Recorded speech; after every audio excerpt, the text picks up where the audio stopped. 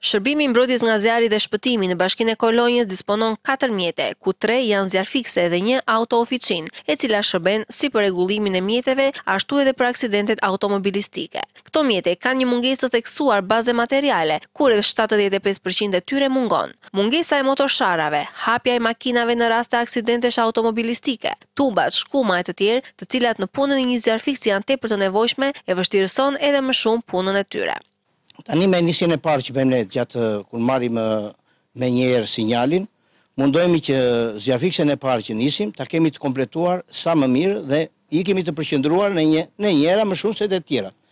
Pastaj kur në qoftë se është nevoja për ndërhyrje me me zjarrfikësen tjetër, mundohemi që të kombinojmë Në formacionin e ndërhyrjes së bashku me trupat trupat e zjarrfikësve. Këto janë të nevojshme. Pa mjete s'mund të bëhet edhe puna, ndërhyrja nuk mund të bëhet në kohën e duhur, nuk mund të elimino, nuk mund të ketë pasoja të mëvonshme.